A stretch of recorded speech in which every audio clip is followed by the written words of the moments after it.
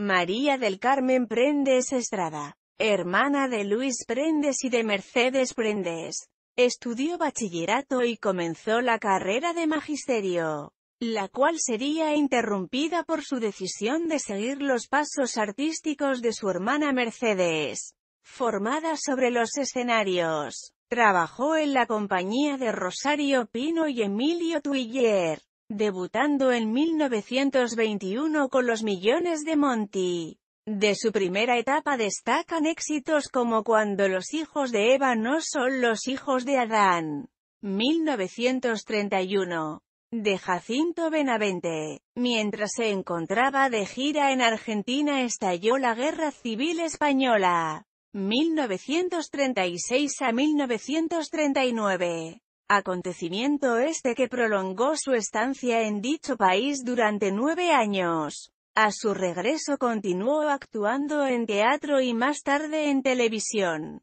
Sobre los escenarios cosecha numerosos éxitos como Las mujeres sabias. Mi cara serrana lo va diciendo por dónde voy. Comedias bárbaras. Don Juan Tenorio. 1945. Cuidado con las personas formales. 1960. Doña Endrina. 1960. Melocotón en almíbar. 1961.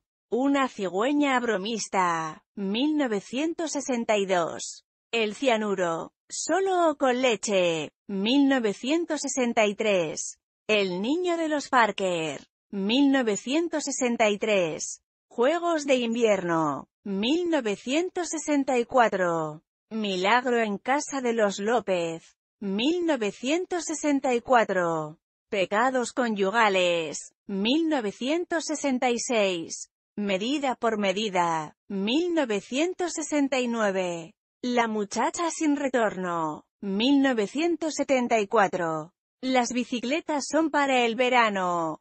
1982. La casa de Bernarda Alba. 1984.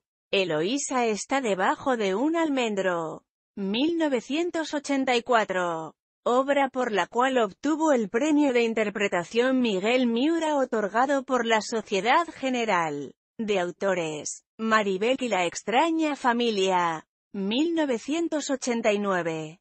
Y la Orestiada. 1990. Debuta en el cine a la tardía edad de 55 años y pronto se consagra como una de las actrices de reparto más sólidas del panorama cinematográfico español. Durante más de dos décadas interpreta papeles, en su mayoría cómicos, para terminar y consolidar su carrera cinematográfica bajo la dirección de Pilar Miró en la película El pájaro de la felicidad.